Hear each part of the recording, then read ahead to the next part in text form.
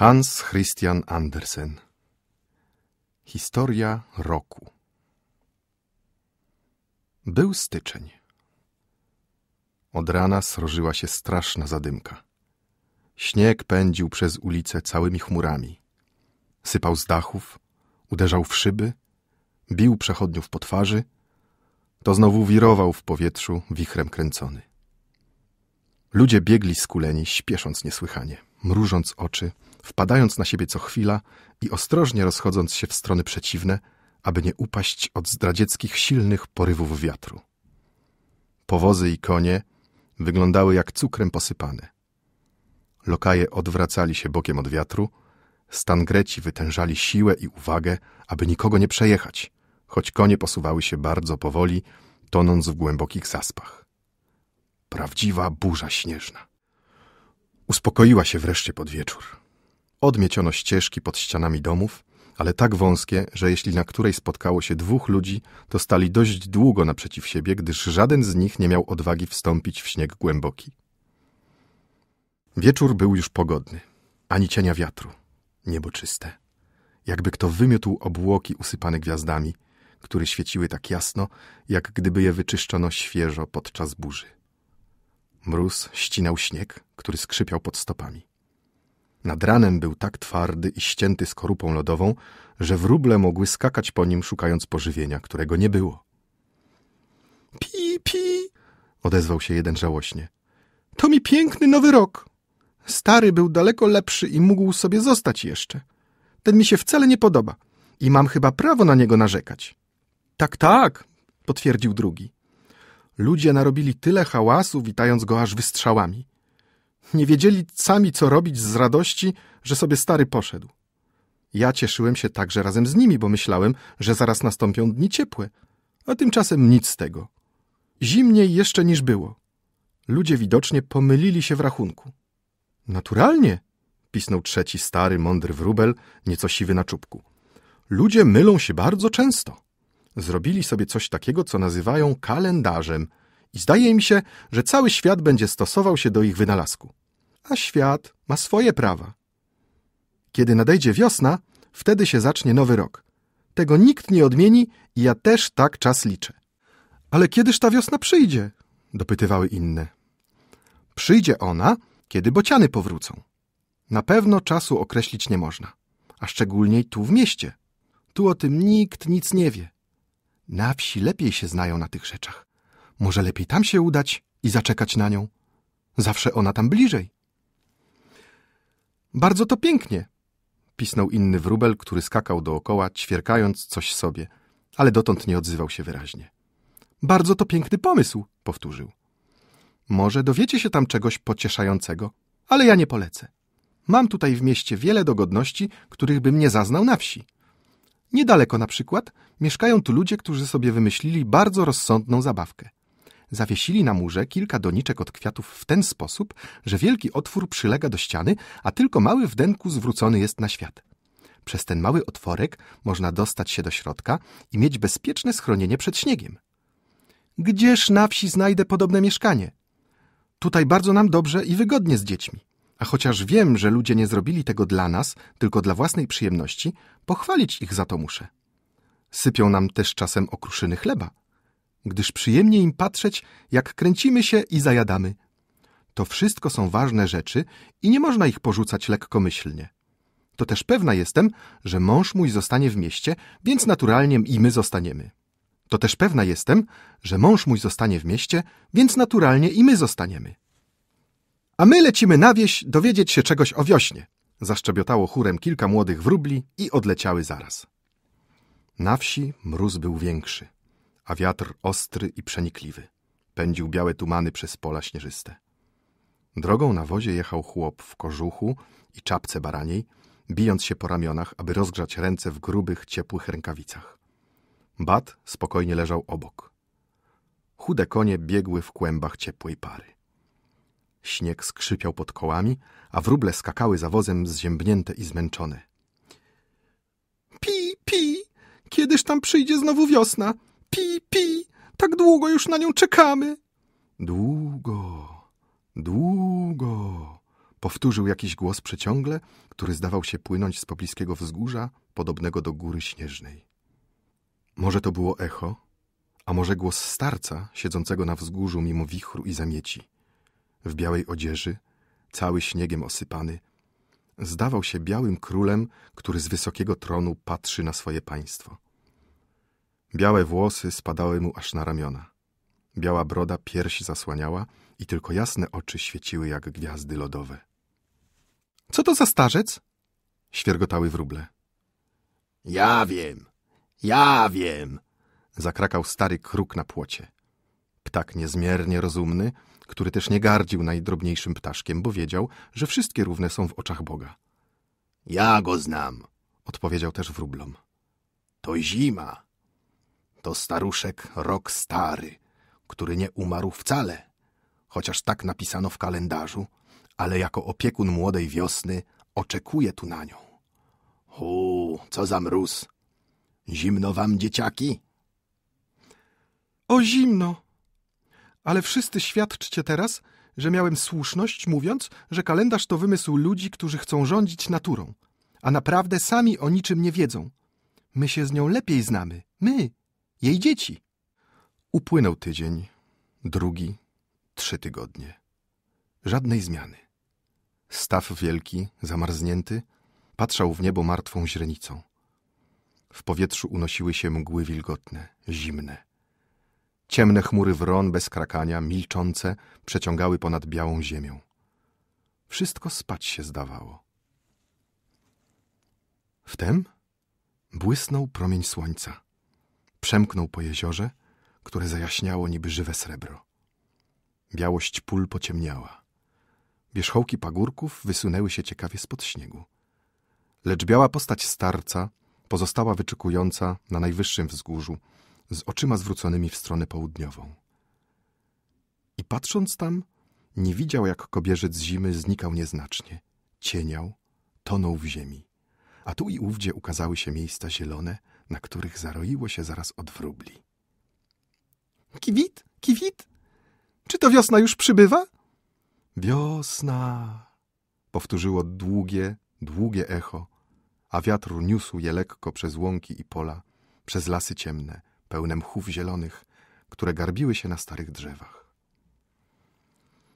Nagle z południa, w jasnych blaskach słońca, ukazały się dwa pierwsze bociany.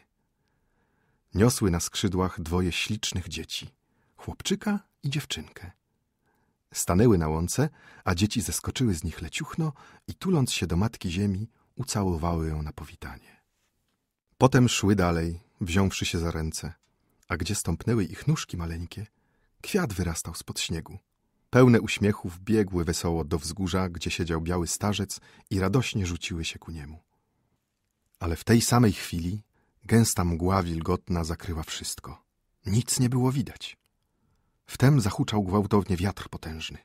Uderzył czołem w ciężki płaszcz mgły szarej, rozerwał go, poszarpał. Zajaśniało słońce, ciepłe i jasne. Z wysokiego wzgórza zniknął starzec, rok stary, a dwoje ślicznych dzieci zajęło jego miejsce. To mi nowy rok! zaśpiewały wróble. To prawdziwy rok nowy! Ten nam zapłaci za wszystkie przykrości, jakie wycierpiałyśmy pod rządami zimy. To rok nowy! Wszystko dokoła stroiło się i zieleniło. Gdzie zwróciły się oczy ślicznych dzieci, tryskały pączki zielone z gałązek. Podnosiła się trawka zielona ku górze. Zieleniały pola uprawne. Dziewczynka roześmiała się i drobniutką rączką rzuciła pierwszą garść kwiatów na ziemię. Miała ich tyle na lekkiej sukience. Sypała hojnie pełnymi rączkami, a wciąż ich miała mnóstwo nieprzebrane. Podniosła się na koniec i obłoki kwiatów rzuciła precz, daleko, na grusze, jabłonie i drzewa owocowe, które stanęły białe jak pod śniegiem. Nawet ich listków zielonych nie widać było. Dzieci klaskały w ręce. Całe stada ptasząt unosiły się ponad ich główkami, a wszystkie szczebiotały. Wiosna, wiosna, wiosna. Ślicznie było na świecie. Z chat wychodziły siwe staruszki, zgarbione, pomarszczone i prostowały się na ciepłym słonku i wygrzewały się w jego promieniach. I z rozkoszą patrzały na pola i łąki, na żółte kwiatki rozsiane tak hojnie, jak za dni ich młodości. Wszystko, jak było dawniej, Piękne, świeże, nowe. Błogosławiona wiosna. Las ciemny jeszcze, pączki tylko na gałęziach, ale duch życia i tu już przeniknął, pachnie w powietrzu.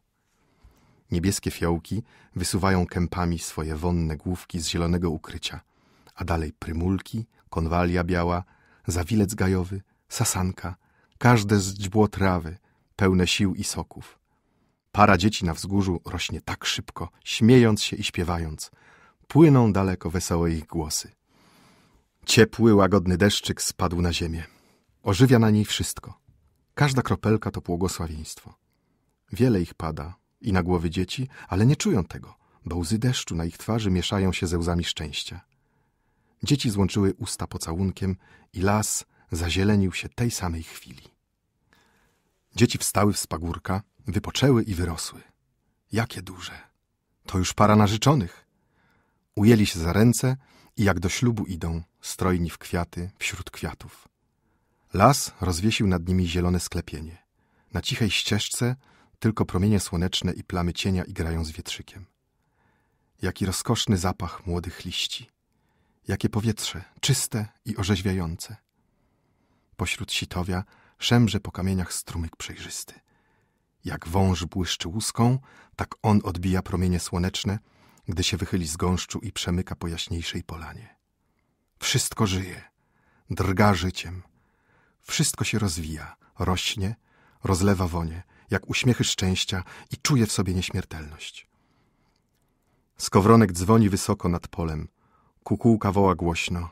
Zlewają się w cudowną harmonię radosne głosy wilgi, czyżyka, kosa, pliszki małej. Wiosna! Wiosna! Wierzba tylko nie zdjęła pączków rękawiczek z ciepłej, białej wełny. Bardzo jest przezorna, ale to nudne. Upłynęły dni, tygodnie. Coraz cieplej. Gorące prądy płyną przez łąki i pola. Żółkną zboża. Na cichych jeziorach rozpostarły się szerokie liście wodnych lilii, pod którymi szukają cienia drobne rybki podczas skwarnego południa. I cisza. Tylko brzęczenie owadów, wytrwale pracujących koło kwiatów. Tylko blask, upał. Na skraju, skąd widok rozległy na chaty wiejskie, kąpiące się w słońcu, na sady i ogrody, girlandy róż świeżych jak rumieniec dziewczęcia, na owocowe drzewa i wiśnie czerwone, soczyste, ciężkie wśród zielonych liści, na skraju lasu siedziała niewiasta. Piękna jest, młoda. Znamy ją. To ona przybyła tak niedawno jako dziecię małe, sypiąc kwiaty. Teraz wzrok jej śmiały zdaje się mierzyć czarne, ciężkie chmury, które się wznoszą z trzech stron coraz wyżej, wyżej jak skały, jak góry olbrzymie. Niby wezbrane, czarne, skamieniałe morze, schylając się nad lasem i ku niemu płyną. W lesie umilkło wszystko, jak przez czary. Wietrzyk nawet swawolny poruszać się nie śmie, siedzi gdzieś przyczajony. Żaden listek nie drgnie. Ucichły świergotliwe ptaki. Cisza. Cisza. W całej naturze cisza i oczekiwanie pełne skupionej, milczącej powagi. A ludzie śpieszą. Na drogach, na ścieżkach pełno jezdnych i pieszych. Każdy pod dach dąży, szuka schronienia. Rozjaśniło się nagle, jakby słońce pękło i błysnął płomień straszliwy, niszczący, oślepiający wszystko. I znowu ciemność, tylko grom potężny ozwał się groźnie, głucho. Woda strumieniem spływa z niebios na ziemię. Światło i ciemność, cisza i grom znowu. Kwitnąca trzcina chwieje się na ciemnym błocie jak rozbujane morze. Las tonie w ulewie, mgle, smugach deszczu. Światło i ciemność co chwila. Cisza i gromy. Niby skał łamanie. Trawy i zboża przylgnęły do ziemi jak przybite, jakby się już nigdy podnieść nie miały po straszliwej klęsce. Lecz oto strugi wody zmieniają się w krople. Błysnęło słońce. Niebo uśmiecha się znowu. Na każdym listku perły i diamenty. Ptaki śpiewają. Ryby wyglądają z wody. Mkną w różne strony z podwójną szybkością. Brzęczą komary nad wilgotną łąką. Nad brzegiem morza na wielkim kamieniu usiadło lato. Silny, dorodny mężczyzna o mokrych włosach po świeżej kąpieli. Woda spływała z niego, lecz słońce go grzeje. Czuje się odmłodzony, pełen siły. I cały świat dookoła czuje się młody i silny, bogaty, piękny, pełny darów bożych. Piękne, gorące lato. Słodki zapach płynie z pola koniczyny, miodowy zapach. Roje pszczół brzęczących uwijają się nad nim, gromadzą zbiory. Koląca jeżyna, kamień ofiarny oplotła zielenią, kamień obmyty deszczem i słońcem oblany. Tu pszczół królowa śpieszy ze swym rojem złożyć ofiarę z wosku i miodu słodkiego. Lato przyjmuje ją wdzięcznie wraz z żoną. Oni lepiej od ludzi pojmują naturę i wiedzą więcej. Błysnęły złote gwiazdy na wieczornym niebie. Zajaśniał promieniami złoty krzyż na szczycie wieży kościelnej. Jasny księżyc świeci między wieczorną zorzą a jutrzenką. To lato. Upłynęły dni znowu. Upłynęły tygodnie. Jasne sierpy żniwiarzy błysnęły po polach. W sadach gałęzie drzew gną się ku ziemi pod ciężarem owocu. Chmiel rozwiesza bogato swe kiście pachnące, pod liśćmi leszczyny kryją się gniazda orzechów. Tu zasiadł mąż i żona, już nie dzieci i nie młodzieńcy, silni, piękni, dojrzali ludzie. Patrzą na świat dookoła, rozmawiają. Jakież bogactwo wszędzie, szepnęła kobieta. Błogosławieństwo Boże. Dostatnio, miło, dobrze.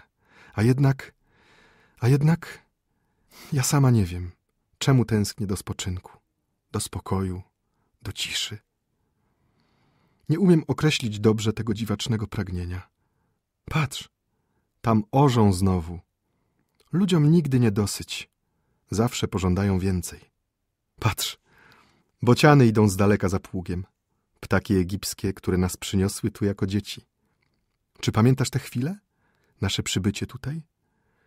Przynieśliśmy blask słońca, zieloność i kwiaty. I wszystko było takie strojne, świeże. Dziś pociemniało. Wiatr rozmiata liście, zczerniały lasy, utraciły barwy. Nie zdobią ich w tym kraju złociste owoce. Chcesz złota i purpury? Zapytało lato i wyciągnęło ramię ku polom i lasom. A w tejże chwili bogactwo barw nowych okryło wszystkie drzewa. Krzaki róż zajaśniały głogiem purpurowym. Winnice okryły się złotem i szkarłatem. Z drzew kasztanowych spadał deszcz ciemnych owoców. W lasach zakwitły powtórnie fiołki. A królowa roku była blada i milcząca. Zimno, szepnęła. Wiatr chłodny. Nocami pada mgła wilgotna. Zimno mi, tęskno do naszej ojczyzny. I smutnymi oczyma żegnała bociany lecące na południe. Żegnała każdego i smutnie ku nim wyciągała ręce. Odleciały. Na krzewach, dachach domów gniazda puste. W jednym wyrasta wysoki kłos żyta, w innym rzepak kwitnący. Wróble krążą ponad nimi. Pi, pi! A gdzież to państwo gospodarze? Niewygodnie im tutaj? Wiatr za chłodny? Więc kraj ten opuścili. Szczęśliwej podróży! Las zmienia barwy. Żółknie i ciemnieje. Liść spada suchym deszczem, wiatr jesienny świszcze, porywa resztę. Późna jesień. Królowa roku spoczywa znużona na posłaniu z mchu i siana. Smutnie patrzy w gwiazdy. Mąż stoi przy niej. Wiatr ostry przemknął pomiędzy drzewami i zabrał chmurę liści. Na gałązce obnażonej usiadł motyl. Może ostatni motyl tego roku. Upłynęły dni i tygodnie. Mgła wilgotna i chłodna owijała ziemię mokrą chustą. Wiatr niósł lodowe igły. Noce stały się długie, ponure. Pan, władca roku, sam stanął wśród pola. Biały włos mu opada na ramiona. Ale on nie wie o tym. Myśli, że to płatki śniegu, które z chmur spadają i cienką warstwą okryły już pola. Dzwon z kościółka ogłosił wieczór wigilijny. Oto dzwon narodzenia, szepnął do siebie król roku. Za chwilę mój następca przyjdzie na świat, a ja będę mógł odejść, tak jak żona moja, na spoczynek ku jasnym gwiazdom. Pod zieloną sosną, na której śnieg leżał, w głębi lasu stał anioł z białymi skrzydłami i zwiastował młodym drzewkom wesołą nowinę. Radość ludziom i ptakom, i drzewom zielonym, i wszelkiej żyjącej na ziemi istocie, wyrzekł starzec na wzgórzu, skąd panował wzrokiem nad całą okolicą. Dla mnie wybiła godzina spoczynku. Nowy król i królowa otrzymują berło, władzę nad światem. Władza przy tobie jeszcze, odpowiedział anioł. Ona, a nie spoczynek jeszcze twym udziałem. Czuwaj, aby śnieg, leżąc na ziemi, ogrzewał młode zasiewy. Spełniaj obowiązek już nie jako władca, ale jako podwładny. Ucz się żyć nie dla siebie, o sobie zapomnij. Godzina wyzwolenia dla ciebie wybije, kiedy się wiosna zjawi. Kiedyż ona przyjdzie? spytała zima. Gdy bociany powrócą. Na wysokim pagórku siedzi starzec pochylony w białej odzieży. Długie białe włosy spadają mu na plecy. Biała broda piersi osłania. Ciężar przebytych dni spoczął na barkach jego i przygniótł je mocno, lecz władza jego potężna jak wicher, co burzę niesie śnieżną, jak lodu okowy. Siedzi na wzgórzu przygarbiony, cichy i patrzy na południe jak jego poprzednik. Śnieg skrzypi, a lód trzeszczy pod nogami. Łyżwy rysują błyszczącą powierzchnię zamarzłego jeziora. Kruki i wrony tworzą plamy czarne na białym śniegu. I cisza. Zima ścisnęła pięść i lód grubieje. Łączy mocno ląd z lodem. Wtem z miasta przyleciały stadem wróble i zobaczywszy starca zapytały. Kto to? A kruk na płocie, ten sam albo inny, lecz zupełnie podobny, odpowiedział znowu. To zima, rok stary. Nie umarł on wcale, chociaż tak napisano w kalendarzu, lecz oczekuje na młodą wiosnę, której jest opiekunem. A kiedyż ona przyjdzie? dopytywały się wróble. I my czekamy na nią, bo z nią zaczną się lepsze czasy, lepsze panowanie. Stary już do niczego. Starzec w zadumie patrzał na las poczerniały, ogołocony z liści, na gałęzie nagie, ale kształtne i silne, pnące się ku górze, i głowa zwolna na pierś mu opadła. A nad lasem zawisła mgła zimna, lodowa i powoli spuszczała się ku ziemi. Tymczasem stary władca śnił o dniach młodości, o dniach poczucia siły i dniach szczęścia. A nazajutrz o świcie las stał jak marzenie, biały i czysty, strojny brylantami szronu, uroczy niby zaklęte królestwo. To sen zimowy. Słońce otrząsnęło biały szron z gałęzi. A kiedy przyjdzie wiosna? Świergotały wróble. Wiosna! Rozległo się w lasach bezlistnych. Wiosna! Mknęło przez pola daleko, bez końca. Słońce błysnęło cieplej. Śnieg pociemniał, ścieniał. Ptaki zaświergotały. Wiosna! Wiosna! Wiosna! Wysoko od południa leci pierwszy bocian, drugi tuż za nim. Na szerokich skrzydłach niosą dwoje dzieci. Zatrzymały się na szerokiej łące. Dzieci witają ziemię pocałunkiem, a potem śpieszą do białego starca. Mgła zasłoniła wszystko. Czy wraz z nią wiatr uniósł sędziwego władcę, który siedział na pagórku? Śladu po nim nie zostało. Bardzo dobrze, bardzo dobrze! szczebiotały wróble. Wszystko to bardzo pięknie, lecz zupełnie nie podług kalendarza, który wszystko przekręca.